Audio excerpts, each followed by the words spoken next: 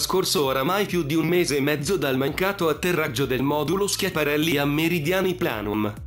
Ma, ad oggi, le notizie certe sulle cause dello schianto sono ancora poche. Nonostante i diversi comunicati ufficiali e le dichiarazioni emesse da vari portavoce dell'ESA, le informazioni in nostro possesso lasciano ancora parecchi punti interrogativi. A tal proposito, vi proponiamo una piccola cronistoria di alcune di queste dichiarazioni. Iniziamo con una sintesi dell'intervista rilasciata dal dottor Andrea Comazzo il 20 ottobre 2016 per l'INAF, l'Istituto Nazionale di Astrofisica.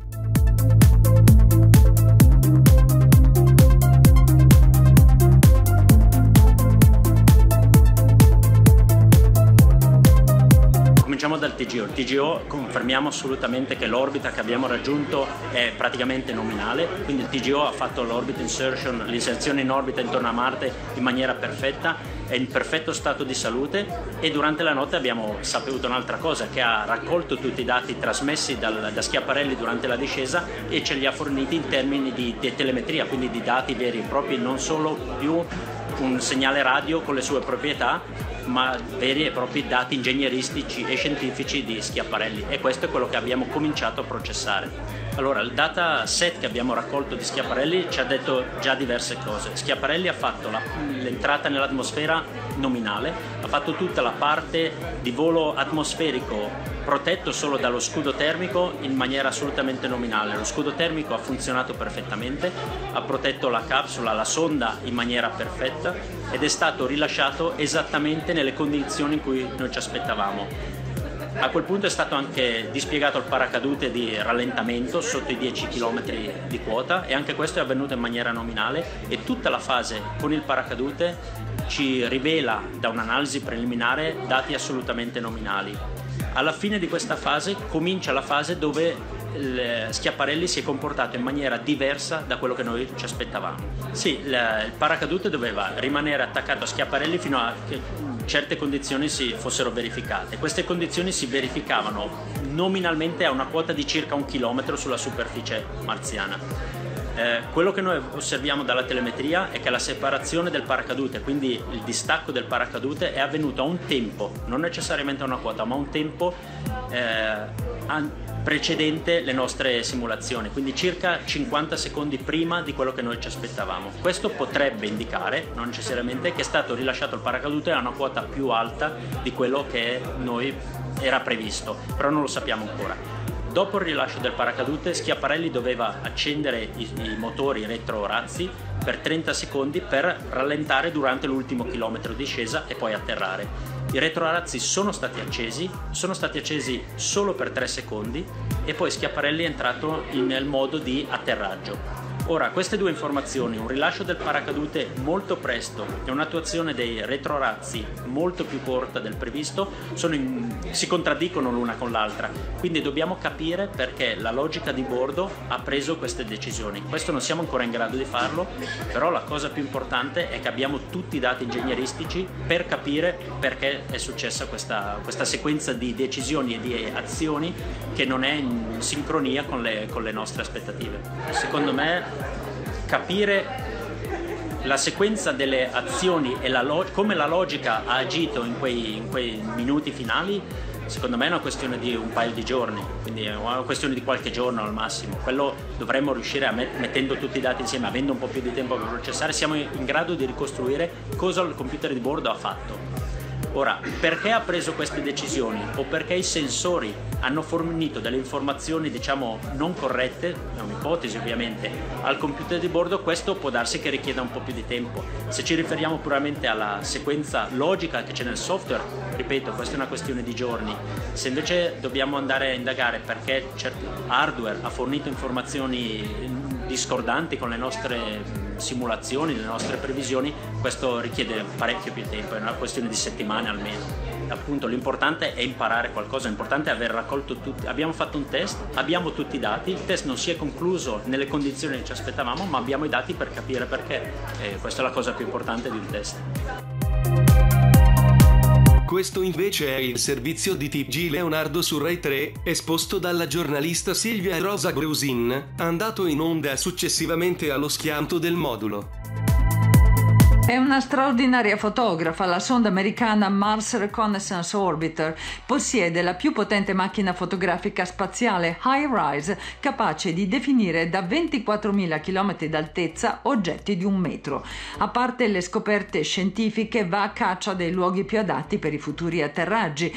Avevano promesso di darci una mano gli americani e l'hanno fatto. Sulla zona dell'impatto della sonda Schiaparelli hanno puntato nell'emergenza un'altra macchina un po' più modesta della stessa sonda. Ed ecco in basso il paracadute bianco da 12 metri. Ad un chilometro di distanza una voragine di 15 metri per 40 il segno del botto della sonda che è caduta da forse 2 o 4 chilometri d'altezza a 300 km l'ora. E verosimilmente esplosa con tutto il carburante che ancora rimaneva a bordo. I retrorazzi non hanno avuto il tempo di consumarlo, spenti quasi subito da un computer che si è comportato in in modo bizzarro. Si passano e ripassano tutti i dati. Il paracadute ha funzionato perfettamente in apertura e ha frenato. Poi il sistema potrebbe aver lanciato un segnale provocando un distacco anticipato di qualche secondo anche dello scudo termico. Il fatto è che il computer di bordo, informato da sensori e dal radar, ad un certo punto ha pensato di essere arrivato, atterraggio compiuto e ha spento tutto. Invece no, ecco perché la stazione italiana Meteo Meteo Dreams, che avrebbe dovuto incominciare a funzionare sulla superficie di Marte, è stata accesa durante la caduta. I dati dell'analisi dell'atmosfera marziana dello strumento italiano, anche questo Amelia, sono fondamentali in queste ore. Da quel che siamo riusciti a sapere che il computer di bordo è stato progettato in base a certe dinamiche previste, poi la realtà ha determinato, si dice, condizioni inattese. Si sta valutando se le condizioni reali erano quelle previste, un po' sibillino. Ne sapremo di più tra qualche giorno e intanto Mars Reconnaissance Orbiter sta per passare sulla zona dell'impatto per fare immagini dettagliatissime ed è proprio lei ad aver ripreso anche questi diavoli di polvere, così li definiscono. Su Marte in questo periodo è stagione di tempeste di sabbia. Questi che ora vi mostreremmo sono alcuni estratti dell'intervista che molto gentilmente ci ha concesso il dottor Andrea Comazzo il 21 novembre scorso sulla velocità della sonda. Per, preciso per la, questa domanda, la velocità eh, della sonda più o meno quando ha sganciato il paracadute era di circa 300 km all'ora, se, se, non erro, una velocità del genere. Quella nominale era intorno a 250 km orari, siccome l'ha sganciato prima forse era un pochino più veloce, però non molto, l'ordine di grandezza è quello lì. Ah, beh, i retrorazzi... Ehm, sono stati accesi per un periodo molto breve di 3 secondi proprio per decisione del software. Si sono reso conto la, dopo la conferenza stampa che abbiamo fatto, molte persone hanno interpretato le mie parole come se avessi detto che i retroarazzi non avevano funzionato. Hanno funzionato, il software che ha deciso di spegnerli dopo 3 secondi perché pensava di essere molto più vicino al suolo in realtà di quanto non fosse. E 3 secondi era la durata minima per fermare quello che noi chiamiamo spin, la rotazione della sonda sonda soltanto per fermare la rotazione per poi farla atterrare. Purtroppo la sonda non era così vicina al suolo come il software pensava, era molto molto più alta ed è quindi precipitata al suolo. Abbiamo una commissione interna tecnica che ha praticamente quasi finito il proprio lavoro di cui io non sono parte. Eh, ho saputo oggi che il penso che l'ESA rilascerà una versione ufficiale di, di delle, dell'analisi tecnica, non di responsabilità ma te, puramente tecnica, il 24 novembre, quindi ormai ci siamo. Eh, quello che di certo sappiamo, no, su quello non abbiamo nessun dubbio, è nel momento in cui il paracadute è stato dispiegato, quindi non abbandonato, ma ben prima, circa 10 km di quota, è stato diciamo gonfiato e rilasciato il paracadute, c'è stato un comportamento della sonda che diciamo, i sensori hanno registrato un comportamento molto anomalo. E. E questo ha indotto la sonda a pensare di essere orientata diversamente da come in realtà era, e quindi ha indotto l'errore che si è poi verificato. Quello di questo certi. Non sappiamo ancora, almeno perlomeno io non so ancora, ma i colleghi stanno analizzando se questo comportamento anomalo della sonda è un comportamento effettivo della sonda o semplicemente sono i sensori che hanno dato dei dati completamente sbagliati. Questo lo stiamo ancora analizzando, lo risolveremo e capiremo esattamente qual è l'origine del problema, ma sappiamo che in questo momento la sonda ha ricevuto dei dati che gli hanno causato questo errore di, di, di percezione rispetto, rispetto, al suolo, quindi ha portato a, prendere delle decisioni sbagliate, se vogliamo anticipate, nel, nei secondi successivi. Questo estratto è sulle cause dell'errore del software. Beh, il, computer, il software aveva una decisione molto facile, il, il, l'algoritmo di navigazione gli diceva che era molto vicino al suolo, quindi il software ha preso le decisioni immaginando di essere vicino al suolo. Ora, la domanda è perché l'algoritmo di navigazione dava dei dati così? L'algoritmo di navigazione è, diciamo, alimentato da sensori di due tipi. Il primo sensore è una piattaforma inerziale che è composta da giroscopi ed accelerometri. Il secondo sensore che entra solo successivamente in gioco è il radar altimetro. Il radar altimetro entra soltanto più tardi in gioco perché ha bisogno che sia rilasciato lo scudo termico frontale della sonda per poi vedere il suolo, mentre prima è protetto dallo scudo termico quindi non può vedere il suolo.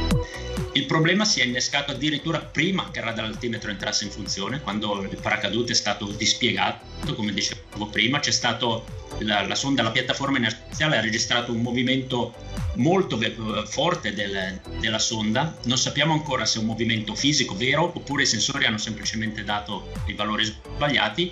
E questo diciamo, movimento veloce, questi dati o estremamente violenti oppure non corretti hanno indotto il sistema di navigazione, quindi l'algoritmo di navigazione, a calcolare una quota sbagliata. Quando questa quota ha dato livelli molto molto bassi, il software ha preso delle decisioni per quelle quote molto basse in realtà eh, era troppo tardi, ormai ha cominciato ad abbandonare il paracadute e a quel punto non poteva fare altro che cadere. Ha attivato i retrorazzi per fermare la rotazione, ma pensava di essere a un paio di metri dal suolo, in realtà era a qualche chilometro dal suolo. Questo estratto è invece dedicato allo strumento Dreams. Allora, Dreams è praticamente il software pensava di essere ormai in prossimità dell'atterraggio, quindi ha attivato tutto il sistema di atterraggio, compresa l'attivazione di Dreams. E Dreams è stato in funzione, se non sbaglio, 19 secondi durante la discesa nella, nell'atmosfera, fin si è schiantato al suolo. Um, personalmente non, non, non, lavoro assolutamente a contatto col, col, diciamo, col team scientifico. Di certo Dreams ha raccolto dei dati che sono stati parzialmente trasmessi a terra. Dico parzialmente perché eh, durante la fase di volo così corta ovviamente non, non si, la sonda non ha avuto il tempo di, di trasmettere a terra tutti, tutti, i dati che ha raccolto. Sicuramente, sicuramente ci sono dei dati che sono stati salvati a bordo della sonda anche durante la discesa che erano programmati per essere trasmessi soltanto dopo l'atterraggio perché non poteva trasmetterli diciamo, durante la discesa al TGO. Quei dati sarebbero potuti, si sarebbero potuti trasmettere soltanto quando l'orbiter della NASA avrebbe fatto il sorvolo un paio d'ore più tardi. Erano salvati in un disco, poi trasmessi, quelli ovviamente sono andati persi. Infine, abbiamo una breve spiegazione sullo scopo basilare del TGO diciamo, premetto che io non sono uno scienziato, sono un ingegnere, mi occupo delle operazioni di volo, è un po' come chiedere al pilota di un aereo perché i passeggeri vogliono andare a New York eh, o cosa vanno a fare a New York. Quindi, però, no, è sicuramente, ovviamente, secondo me bisogna essere corretti. TGO nel programma ExoMars ha un ruolo fondamentale che è quello di ponte radio per i dati della missione successiva. Noi fondamentalmente abbiamo fatto il TGO per quello, per quel motivo lì. Per concludere, vi proponiamo questo servizio di Euronews sugli obiettivi di ExoMars. Sono qui con due degli scienziati chiave della missione ExoMars 2020, il russo Danil Rodionov e l'europeo Jorge Vago. Danil, visto quello che è successo con Schiaparelli, sarete in grado di modificare l'atterraggio nel 2020? Credo che l'atterraggio nel 2020 non avrà nulla a che fare con quanto successo nella missione del 2016, anche se le tecnologie non saranno poi così diverse. Certo il peso del lander sarà molto più grande. Spero che i colleghi europei riescano a capire quello che è andato storto. Questo servirà per evitare altri problemi simili in futuro. Jorge, sapete già dove si atterra? Abbiamo tre possibili zone di atterraggio che stiamo studiando in questo momento. Di questi tre siti, due sono molto antichi, con strati di argilla. L'ultimo sito è un antico fiume, un po' come il Nilo, con delle pianure alluvionali. Pensate che ci siano forme di vita nelle zone che avete individuato? Per quanto riguarda questo argomento, abbiamo già sufficienti prove sulla possibile presenza di forme di vita in passato su Marte. Ora speriamo di arrivare ad avere la prova definitiva. Sono ottimista.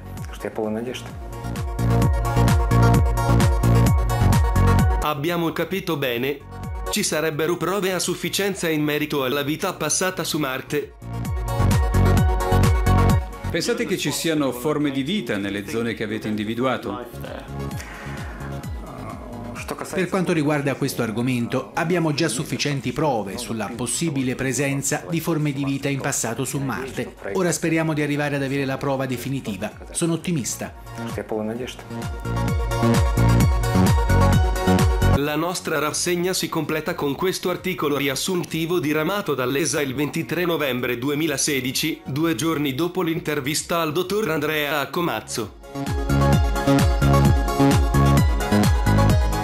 L'intera questione è attualmente al vaglio di una commissione d'inchiesta, la quale dovrebbe fornirci i risultati definitivi verso gennaio 2017.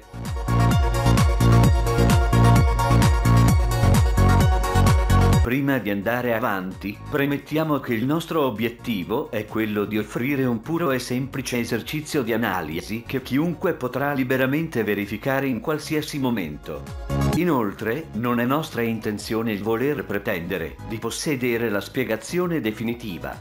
Cominciamo dunque con l'esporre alcune delle spiegazioni ufficiali tra le più gettonate.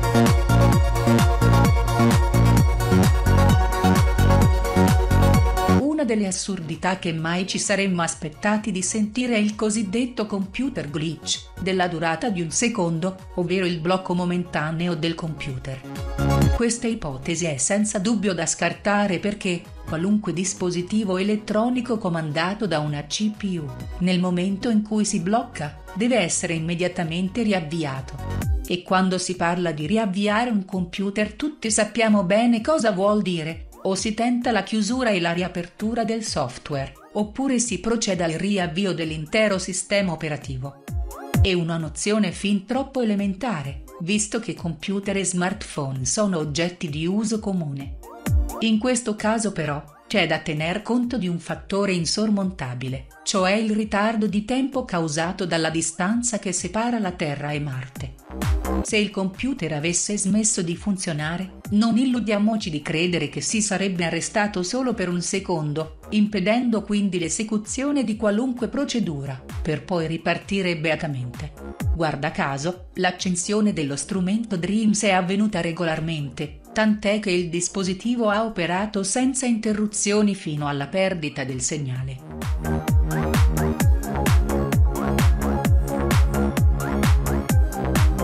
Un'ulteriore spiegazione altrettanto fumosa asserisce che un errato rilevamento del sistema di misurazione inerziale avrebbe indotto il sistema di navigazione a calcolare un'altitudine negativa, cioè sotto il livello del suolo, inducendo così il sistema stesso a rilevare un atterraggio in realtà mai avvenuto. Per chi non mastica le scienze aerospaziali, tale spiegazione avrà certamente un sapore di tecnicismo da risultare addirittura incomprensibile. Ma la realtà invece è ben diversa. Infatti, il sistema di misurazione inerziale serve semplicemente a rilevare le variazioni di velocità, principalmente le decelerazioni, al fine di determinare la velocità reale istante per istante. Non ha quindi nulla a che vedere con il rilevamento dell'altitudine, la quale invece era affidata a uno strumento chiamato radar Doppler.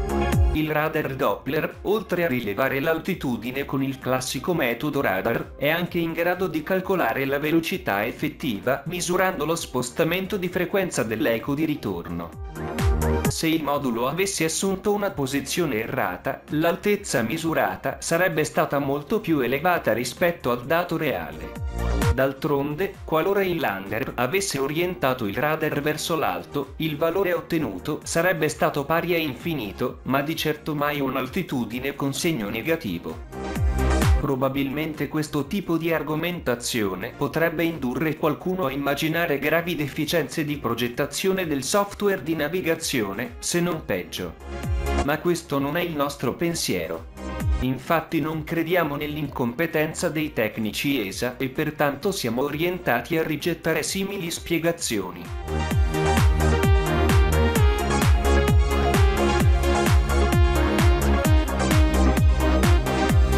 Un altro aspetto alquanto contraddittorio in merito alla descrizione del fallito atterraggio di Schiaparelli riguarda la velocità e l'esatta altitudine dalla quale il lander avrebbe iniziato a precipitare senza più l'aiuto del paracadute e dei retrorazzi. Stando alla fonte ESA, Schiaparelli avrebbe iniziato a precipitare da un'altitudine di 3700 metri partendo già da una velocità di 300 km orari. Ma come mostrato dai due articoli NASA ed ESA, anche la velocità di impatto sarebbe avvenuta a 300 km orari. Come si concilia tutto ciò? Vediamo questa scheda tecnica del dottor Francesco Marcocci.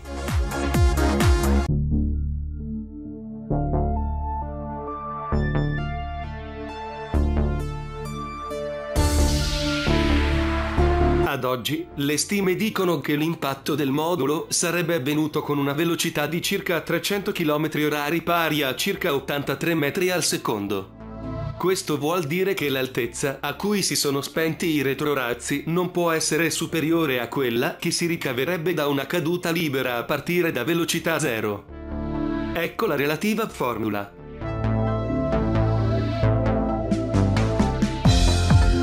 Dunque, non tra i 2 o i 4 km come ufficialmente dichiarato, bensì 931 metri. Un'altitudine maggiore sarebbe fisicamente impossibile. Ma c'è dell'altro. Se la sonda avesse avuto una velocità residua, tale altezza sarebbe ancora inferiore. Questa è la prima grave incongruenza da annotare nelle versioni ufficiali. Prendiamo in esame ora il sistema dei razzi di frenata, dato che sappiamo che hanno funzionato per 3 secondi e iniziamo con il calcolarne la spinta. Essi erano programmati per accendersi a 1,1 km di altitudine, così da ridurre la velocità da 70 metri al secondo a 1 metro al secondo. Dalla conservazione dell'energia possiamo ricavare il lavoro dei retrorazzi e quindi la forza che essi hanno esercitato. Di seguito la formula. Ovviamente la lettera M rappresenta la massa del lander che è di 577 kg totali. A conti fatti, risulta che F è uguale a 3420 Newton. Ma perché i retrorazzi si sono spenti? Come era programmato il software? Facile. Lo capiamo dal piano di atterraggio dell'ESA. I retrorazzi dovevano spegnersi nel momento in cui il lander avrebbe raggiunto la velocità misurata di un metro al secondo.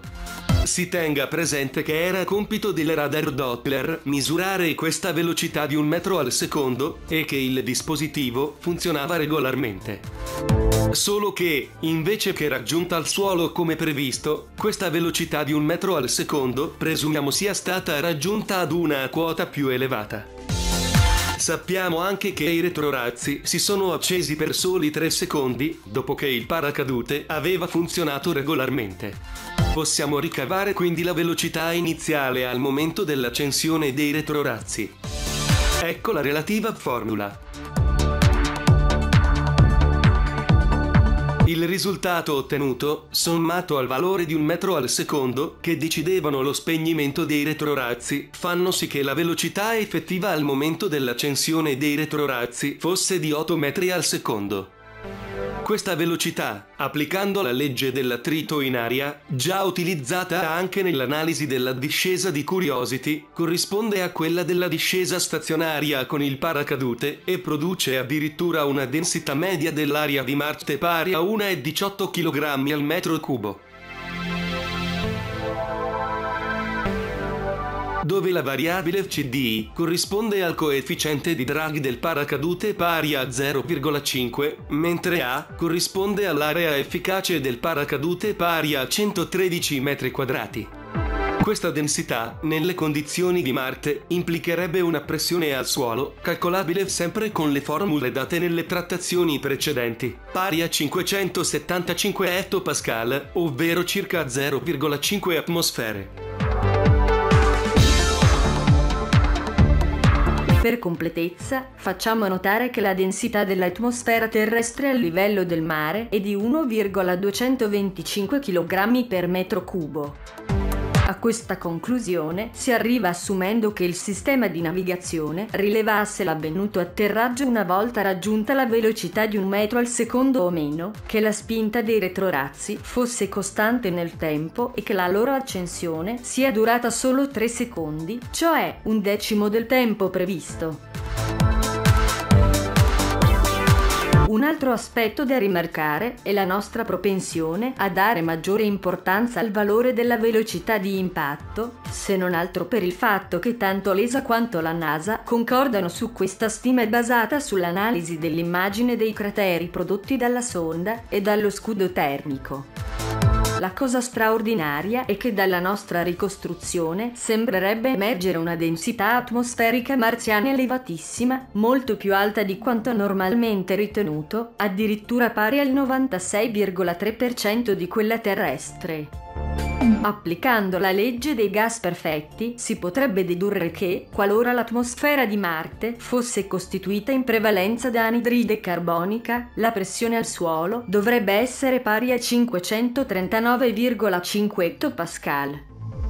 Tuttavia, sarebbe molto improbabile pensare che una quantità così elevata di anidride carbonica possa essere sfuggita alle numerose analisi spettroscopiche, per lo più mirate a stabilire le percentuali di questo gas. Normalmente, le stime ufficiali dell'anidride carbonica indicano una pressione parziale di circa 6 ettopascal, corrispondente ad una densità approssimativa di 15 grammi al metro cubo dando quindi per buona una densità reale di 1180 grammi per metro cubo, l'anidride carbonica costituirebbe soltanto l'1,3% della massa totale dell'atmosfera marziana. Dove è finita la rimanente massa? Ebbene, volendo spingersi oltre, si potrebbe ipotizzare che il 98% di questa massa sia costituita non da anidride carbonica ma da azoto. Se così fosse, stando alla legge dei gas perfetti, risulterebbe una pressione al suolo di 847,5 ettopascal, una pressione a cui un essere umano potrebbe tranquillamente adattarsi senza protezione, salvo l'uso di una mascherina per fornire l'ossigeno mancante. Per concludere, tutto ciò che vi abbiamo descritto nel documentario prende come dati di partenza esclusivamente informazioni ufficiali riportate da fonti autorevoli. È evidente però che le informazioni sulle quali abbiamo eseguito calcoli e analisi erano lacunose e incongruenti. Stando a questi risultati, potremmo azzardare una nostra ricostruzione dei fatti. Vogliamo provare? Supponiamo che effettivamente la densità dell'atmosfera marziana sia circa 79 volte più alta del valore normalmente accreditato. In queste condizioni le dinamiche dell'atterraggio sarebbero mutate notevolmente rispetto a quanto atteso dal software di navigazione. Così l'apertura del paracadute provoca subito un rallentamento maggiore del previsto, cosa che avrebbe facilmente potuto mettere in crisi il misuratore di inerzia IMU. Raggiunta la quota stabilita di circa un chilometro, ovviamente con una velocità molto inferiore a quella prevista, avviene il distacco dal paracadute e la conseguente accensione dei retrorazzi. Dopo 3 secondi di spinta dei retrorazzi la sonda raggiunge velocità zero come se rimanesse sospesa a mezz'aria, ferma sulla stessa quota. Tale condizione potrebbe ragionevolmente aver tratto in inganno il software di navigazione facendogli effettivamente credere di essere atterrata, mentre invece si trovava ancora a più di 900 metri di quota. Effettivamente, cadendo da quell'altezza, avrebbe potuto impattare il suolo ad una velocità di circa 300 km orari così come dichiarato da NASA ed ESA.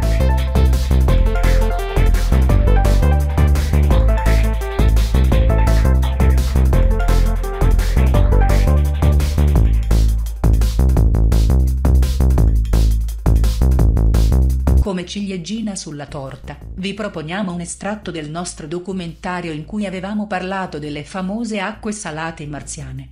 Ascoltate attentamente le dichiarazioni della scienziata Leslie Tampari durante una conferenza indetta dalla NASA. Cosa sapevamo di Marte nel 2005?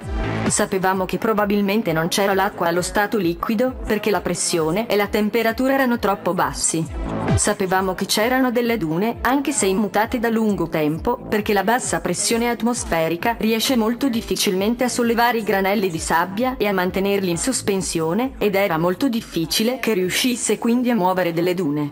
Infatti, quanti di voi hanno visto il film The Martian? Sì, molti di voi. Effettivamente, all'inizio del film c'è un'enorme tempesta di sabbia che solleva molte rocce, fa un gran casino, sbatte gli astronauti da tutte le parti. Questo non potrebbe mai succedere. Infatti l'atmosfera marziana è meno dell'1% di quella terrestre e quindi, anche se avessimo un vento velocissimo, centinaia di miglia all'ora, lo percepiremmo come un vento da 10 miglia all'ora sulla Terra. Quindi, io che sono una scienziata, considero il film solo da un punto di vista artistico. Carissima dottoressa Tampari, siamo certi che lei è una brava scienziata e ama il suo lavoro. Però ci deve spiegare come avrebbe fatto un esile venticello di un'atmosfera cento volte più rarefatta di quella terrestre a smuovere i paracadute di Curiosity e Schiaparelli. Ce lo spieghi.